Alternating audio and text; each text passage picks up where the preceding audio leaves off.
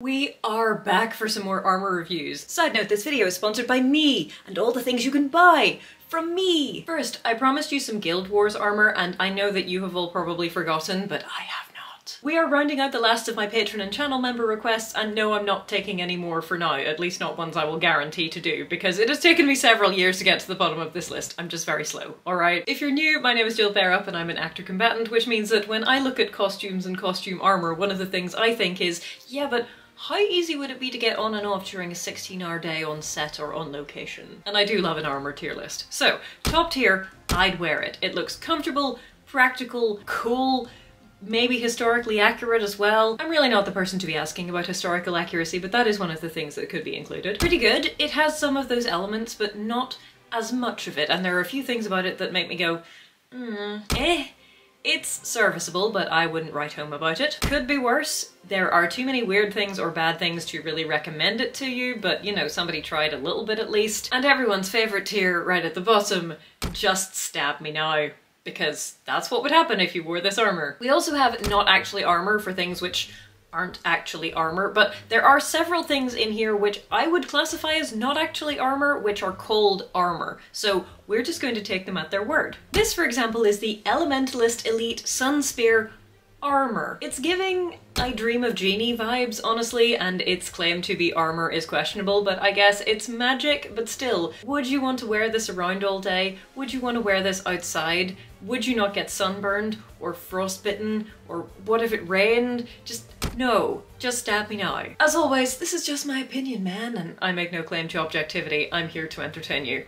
So let's do it. Baldur's Gate 3's Shadowheart. Are we being topical? I think we're being topical. We're not usually topical. Isn't it wonderful? Okay, first question. Is this thing on her forehead, can she shoot laser beams or magic from the thing on her forehead? Because if so, cool, and if not, why no helmet? I mean, why no helmet is a common refrain on this channel, but Come on. I would like to mention that she has tied her long hair back, so points for that. The layers around her face probably still going to get in the way a little bit, just not as much as her very, very long hair would. But you know what? Pretty good. I can see that she's got a full hauberk on under that leather and metal breastplate thing, and a gambeson underneath that. Now, is she going to be warm? Yes. Is she going to be dead? Hopefully not, unless they get her in the head and neck, but that's pretty much par for the course around here. I am a little concerned about those spiky bits because girl, just maybe don't raise your shoulders or your arms too high, but I'm only a little bit concerned because today we have many, many more examples of things which are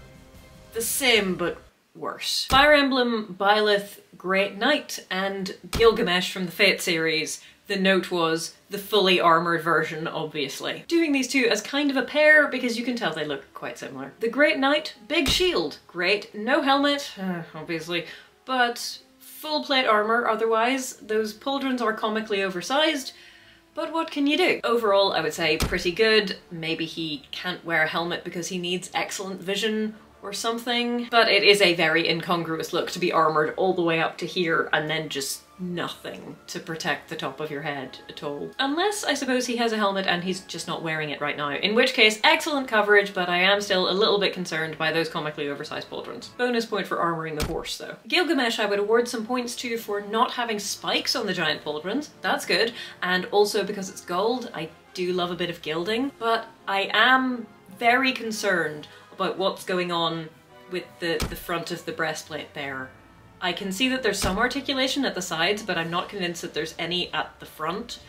What's up with that part? What's up with that? I don't know. It makes me concerned. I don't know if he can bend forwards at all. Eh. Eh. Also, those red parts are flapping dramatically in the wind, but they obviously would go all the way to the ground, and while they're very historical, at that length they are going to be a trip hazard. I would also like to thank my patron for specifying the full armor version of Gilgamesh because naturally that made me go looking for the not full armor version of Gilgamesh and it's amazing. Did he get interrupted while he was dressing? Is he okay? Does he need a minute? I don't know, but it's marvellous. Next up is Dragonheart. No helmet, obviously, and points taken off for having two swords, one of which is in reverse grip, Why would you do that? But you know what, for a 1996 movie, you are actually pretty good. Also, I do like the sensible boots. I'd wear it to these fellas on the horses because you know what? Somebody tried and I'm really appreciating the Guy of Warwick vibes that we have going on here. Uh, except for this guy because that's that thing at the front of his helmet, that's called a nasal and correct me if I'm wrong here, but I'm pretty sure that's supposed to go over your nose.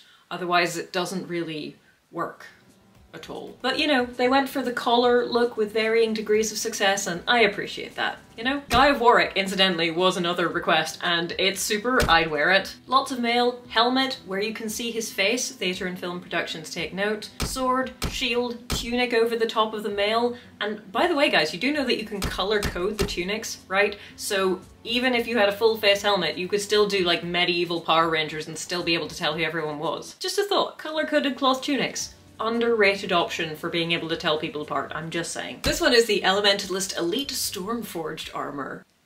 Sorry, okay. It's a strapless bra which is attached to a collar with some weird shoulder pieces on it by means of some black string. The collar is very catwalk model, so there's that. At the bottom we've got some bikini bottoms at the front, mini skirt at the back with a sort of mesh overlay. There are some purple go-go boots with high heels naturally. There's also a belly chain. Was this made in the late 90s or early 2000s? Came out in 2005. Okay, yeah, that does explain it. And of course there are vambraces because you have to protect your forearms. Very important to protect your forearms. Not your vital organs, but your forearms. Just stab me now, but it's amazing and I kind of love it. Also, side note, this woman just doesn't look right, and nor does the man, actually. They both look like they've been spliced with giraffe DNA. Anyway, moving on. Magic the Gathering, Scion of Peace and Scion of War. People do not seem to love helmets generally today, but never mind. I do like the Ice Guy's crown. Ice Guy also has little icicles on his pauldrons, and they are spiky, but on the other hand, they are quite short, so it's going to be quite hard to spike yourself in the ear with them, and also, because they're ice, it's not going to be so much of a concern that someone can grab them. A high pretty good to you, sir. For the lady, I mean, I really wanted to give her a high pretty good as well because I really love the design of the armor, but if you could just, just add a little bit more to the breastplate, just under the boob. You don't have to go all the way down, obviously, because you're trying to give her some room to maneuver from side to side, but just a little bit more would have been better. I'm just saying. Still pretty good though. This next one is a request for the armor worn by Harry Dresden's allies in the novel battleground in the Battle of Chicago. And I have been putting this off for a couple of reasons. First, because I have read Peace Talks and Battleground and they made me sad, so I wasn't really, what's the word, overly enthusiastic about reading them again. But second of all, because it's a book and so there are no pictures, which means that everything just sounds kind of good. So you have John Marcone, or Marcone, or Marconi, I still don't know how you're supposed to pronounce that, uh, and he's wearing a scale shirt of possibly modern or magical origin which goes under his suit. Molly Carpenter is wearing a magic wetsuit. Various characters are wearing hunting leathers with mail over the top. The Pixies are wearing full gothic plate including helmets. There's a lot of tactical gear going on as well. There's, there's a wide variety of stuff and all of it sounds good. But obviously all of it sounds good because you just conjure up, pun fully intended, whatever you think looks cool and practical in your own mind. There are a couple of exceptions, but anyway. Harry Dresden, wizard and main character,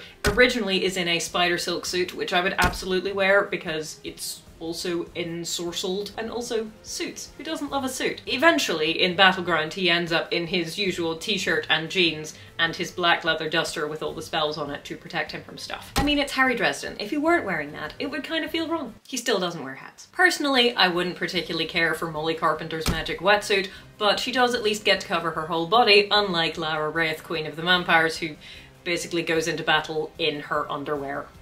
Because of course she does. Just stake her now, please. As a personal favour. But in books in general, you can say basically what you like about armour because as long as you're not too specific about it, people will just envision something that looks cool to them. Soleil from Fire Emblem Fates. I mean, there's nothing bonkers about this outfit, though I do question how high those heels are. If they hide your feet in shame, then I get suspicious, okay? Bonus points for gambeson as part of your armor. I do love a gambeson, but still, those shoes. Pretty good, though. N7 armor from Mass Effect. Looks futuristic and like it would stop a laser bolt or whatever it is that they're up against in the Mass Effect universe. I don't even know. But there's a lot of articulation because it's made up of a lot of smaller pieces. Also, they have helmets, though you can toggle them off so you can see their faces. Good job all round. I'd wear it. Guild Wars Elementalist Obsidian Armor. First of all, we gotta lift this out of the Just Stab Me Now category because they did at least cover her body. Well done. But those pauldrons, without a helmet, you are 100% gonna stab yourself in the head every time you raise your arms even slightly. Also props that in this armor set at least, notwithstanding anatomical differences, the armor sets look the same on the male and female model. This is not always the case. Hilda? Hilda from Soul Calibur 4. Is that a helmet I see? Okay, I'd wear it right off the bat. They gave her a helmet, no high heels, and full plate. Like, good job. However, there is a lot of ornamentation on here. And I mean, a lot. Notwithstanding the giant wolf head pauldron, look at all the swirlies and twirlies. And I mean, I love swirlies and twirlies if they're inlaid on the surface, but if they're raised up and you're a melee fighter, Things are gonna get stuck in that, but still, it looks really cool and I'd wear it. It was alleged to me that in Soul Calibur 6 it got worse, and yes, it did. It did, but they did make an effort to give her some body coverage and a breastplate and... Oh, those are high heels. Eh. Eh. The Mandalorian. We've discussed this a couple of times before, but basically the short version is I'd wear any of these. But I do have a preference for no capes, and also a preference for the owly visors. Owl eyes are cool and since they're sci-fi helmets and they all have heads-up displays inside them anyway, it doesn't really matter what the visor shape looks like, but owls are cool, alright? Owls are cool. I made a note for this next one and it read, Sylvester McCoy who Battlefield Morgaine, Mordred, Ancelyn. That required some parsing when I came to look it up again. Sylvester McCoy as the Doctor does not wear any armor in this episode. I don't know if he wears armor at any other time, but that's not really the point. We are looking at this lady, this chap, and this chap as well. And honestly, for any era of Doctor Who, I think these guys look alright. You can tell that the mail is knitted, obviously, because of the pattern of it, but for Doctor Who, guys, you're not doing too badly. Not doing too badly. The Queen, however, is clearly in eh I mean, I can tell that they tried, but the shape of that breastplate, you can see that she can't really move in it. You can see that she can't bend properly because it just goes right down to her hips and there's no attempt at articulation at all. This guy is Ancelyn and I'd wear that. It just looks pretty solid. I mean, he then takes it off and runs around fighting people without his armor on, but still. This guy, I mean, points that he's wearing a helmet, but I'm really concerned about his lack of vision. That's a very, very tiny slit and the thing is, about the tiny slit that it, it seems like there's a, an extra layer underneath it which just makes it look really weird, like it's not really there at all. I'm gonna go with pretty good because the rest of it is good and he is at least wearing a helmet, but that helmet is so ugly.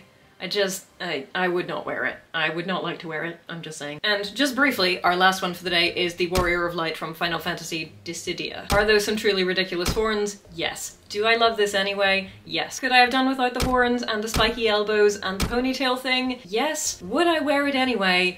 Yes, absolutely, it is just that cool.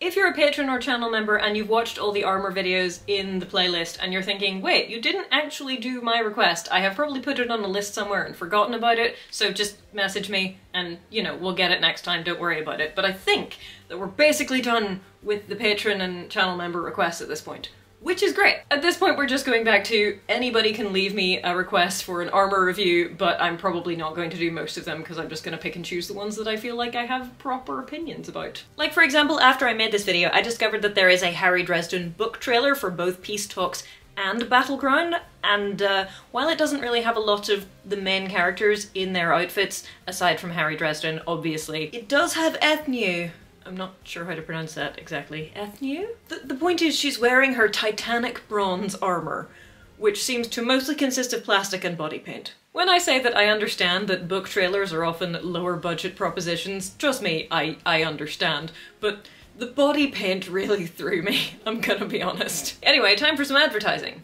of me. If you would like some Just Stab Me Now merch in either this design or the design that is on the book cover, that would be the novel that I wrote based on the fantasy heroine series, then it is available in my spread shop, which it will be linked down in the pinned comment and the description. I'm gonna get some new Just Stab Me Now merch and I'm very excited about it. Also some merch with the Sword Lady Books logo on it because it's super cool.